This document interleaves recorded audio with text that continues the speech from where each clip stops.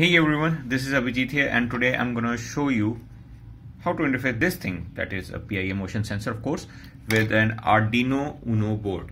So let's get started here.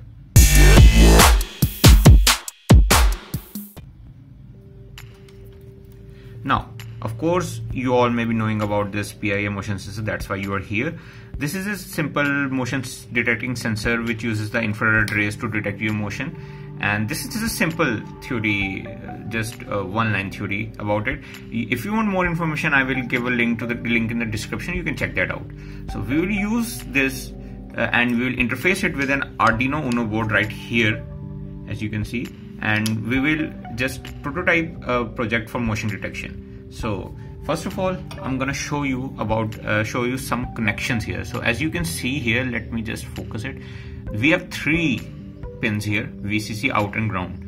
So it's pretty simple i guess. That vcc is for you know uh, so for you know for vcc purposes. And then we have out pin that is a digital pin so we get a load high. And then there is a ground pin of course for grounding the whole circuit. So we are gonna connect it to the Arduino board here. So I have this red wire. This is the VCC wire. So let's just connect it to the VCC here for sorry for the shaky camera here.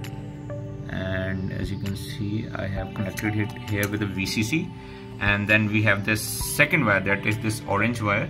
And this is the digital wire. So we will just connect it to the any digital pin here. I will connect it with 7 you can obviously connect it with 2 3 4 5 whatever you wish. It's it will obviously depend upon your code what type of pin you are defining there. I have defined 7 so I'm using the 7 number pin. And lastly we have this blue pin that is the ground pin and of course it will go into the ground here. So we are done here. Yeah that was simple. So uh, now we have our connections complete here. Now the next thing to do is we have to connect the board to the uh, you know laptop or PC whatever you may be having. So I have already I have already connected this side with the Arduino and now I have this USB here. And I will connect it to my laptop USB port. It's very difficult to you know just shoot video and do stuff all by yourself. And there it is. We have oh sorry connected. And as you can hear it is there connected. So I have this code here right here I will of course link it down in the description. And I'm just gonna take some time to explain it. So if you want to watch the explanation just watch it. Else you can skip it. So it is quite clear from the image that the programming used here is a C program Arduino Uno embedded C. And the first line defines the LED pin that is default LED, LED pin for the Arduino Uno that is 13 then we define the input pin from which the PIR input would be taken that is number 7 you can keep it to 2 you can define it as 3 4 5 it's your wish. Then we uh, keep the uh, PIR state to a low uh, because we don't want to assume any motion uh, at the very beginning. And then we uh, define a variable val uh, which will be reading the pin status from number 7 pin. Then we move on to the void setup function. Here we will first set the uh, serial uh, baud rate that is 9600 then we define the led pin that is number 13 pin as the output then uh, number 7 pin that is input pin as the input pin. And then we will uh, start the calibration process. We will keep the time uh, to 15 second we will use the for loop here. You can keep the time to 20 second you can keep the time to 30 seconds. Up to you. I kept it to 15 second and after the calibration is done we'll print the message uh, that the motion sensor is active. This completes the void setup function. And now we'll move on to the void loop function okay so for the void loop uh, functionality we will just uh, first of all store the digital uh, input from the number 7 pin into the variable uh, defined earlier by us that is val. And if the val is high we will just first of all make the number 13 LED pin as high. Then we check the PIR state. If it is low that means new motion has been detected and we will print this to the serial monitor and then set the PIR state to high but if the value is low then we will first of all change the LED pin status to low we will turn it off and then we will check if the PIR state was high that means that the motion which was earlier detected has ended and we will print that onto the serial monitor screen and set the PIR state to low. So in this way we will uh, use the motion detected and motion ended uh, messages and print them on the screen. So we are finally done with the code, right?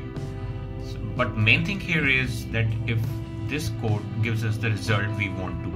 So we're gonna check it real time here and we're just gonna do this. We just first check for the board. Yes, it is there and that is the COM4 and now I'm just gonna upload it this code to the board right here but first I'm gonna do this I have this here and I will cover it with this so that we don't have any initial motion just don't sever the connection you know that would be awful. And we will just upload it. Loading and it's done. Now we'll just open the serial monitor and we're gonna wait. It is calibrating. It will take approximately 15 seconds. You can go for 20 you can go for 30 you can even go for 10 but I prefer 15 it's just easy. So we're just waiting for the calibration to complete here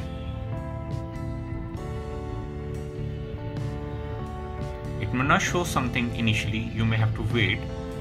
And when the first result will come it will come when you will do this. See there? Motion is detected and now we're gonna stay still. And there it is the motion ended. I'm just gonna put it back.